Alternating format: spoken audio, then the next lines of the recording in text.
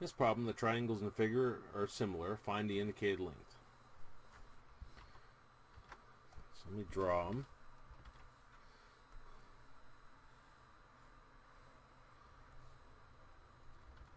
So this is 1.1,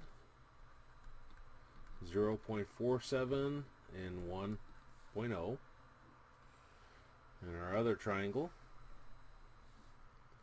as close as I can draw them, is ABC. And they're telling us the C is 5.81 times 10 to the negative 6.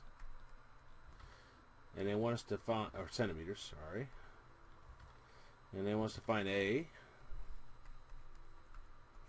And they're wanting us to find B. Well, let's look at our corresponding sides. This side C, so the corresponding side over here, we're going to label as C prime. This side is A, so the corresponding side over here will be A prime. This is B, so the corresponding side over here will be B prime. So to find A, we're going to have A over A prime is equal to C over C prime. Well, A was what we're trying to find over A prime. A prime is 0.47 equals C, which was 5.81 times 10 to the negative 6 centimeters over C prime, which was 1.1. Try and get A by itself, so I'm going to multiply both sides by 0.47. So take 0.47 times this and 0.47 times this over here. Now if you stink at uh, scientific notation, you could probably uh, convert that out of scientific notation before you do this multiplication. This 0.47 is going to cancel, and we got A is equal to, I'm going to plug it in the calculator though. So I got A is equal to 0.47, 0.47 times, ah, try it again, 0.47 times 5.81, and I'm going to put parentheses on top just to be on safe side. So 5.81, and um, probably the easiest way to do this is times 10 caret negative 6. There's actually two different ways to, to do that on your calculator. Um, you could do it that way. There's actually a 10 to the x power above the log, and there's the actual scientific notation above the comma, the EE. And then I'll do a closing parentheses divided by the number on the bottom, which is 1.1.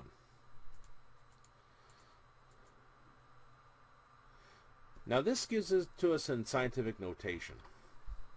So this means that we got, and I'll take it three decimal places, 2.482. Double check that my eyes are crossing. Okay, times 10. That's what this E means here, times 10 to the negative 6 power. And that would be our answer.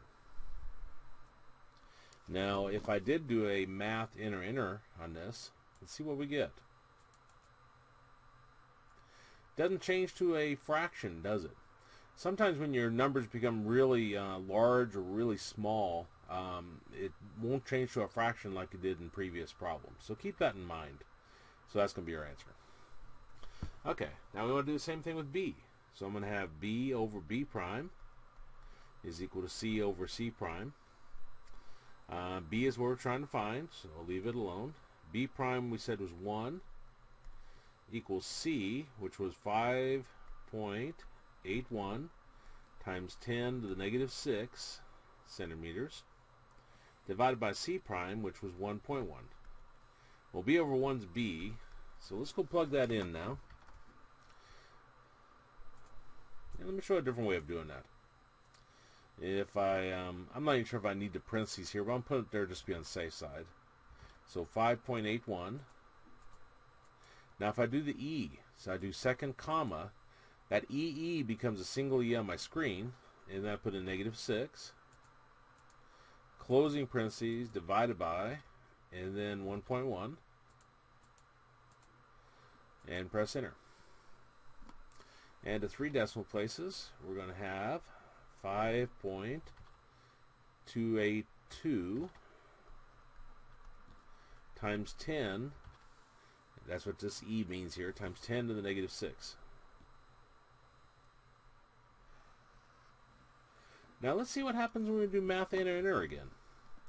So we do math enter enter, then it gives the same value. Not all of these will change to a uh, to a uh, fraction form, to an exact answer. When you're talking about scientific notation, you know, if I had 1.1 and then E2, press enter on that, you get this. But if I just bring that up in there, it's scientific notation. If I do math enter enter, no, that one wasn't even a fraction. Okay, well, never mind that. Uh, let me try a different one. 1.2. I'm actually awake now, too. Okay, let's try negative 2. You get that. You get this. Um, whether it's in that form or whether it's in this form, if I did math, enter, enter, it'll change it. So again, when your numbers become too small, I guess too large doesn't make any sense in terms of fractions, but when numbers become too small, it will not change um, to a fraction form, to an exact answer. But these are our two answers for this problem.